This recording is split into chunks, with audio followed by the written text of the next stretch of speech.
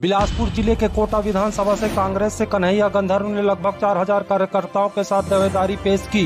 कन्हैया गंधर्व ने लगभग तीन किलोमीटर पैदल चलकर अपनी दावेदारी पेश की और उनके साथ छाया विधायक कोटा के विभोर सिंह भी उनके साथ पैदल चले और हज़ारों की भीड़ और सभी के हाथ में कांग्रेस का झंडा देख पूरा कोटा विधानसभा कांग्रेस कांग्रेस नज़र आया और सभी का नारा था, कन्हैया भैया, संघर्ष करो, हम तुम्हारे साथ हैं।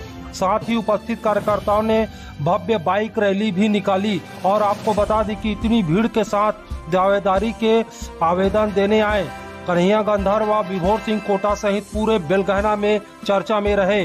विभोर सिंह और कन्हैया गंधर ने अपने उद्बोधन में कहा, उनके साथ आए सभी कार्यकर्ताओं को धन्यवाद करता हूँ कि आप लोगों ने मुझे और हमें इतना प्यार दिया। इसके लिए हम आभार व्यक्त करते हैं। आप देख रहे हैं खबर जी ट्वेंटी फोर, प्रमोद और इमरान खान की रिपोर्ट।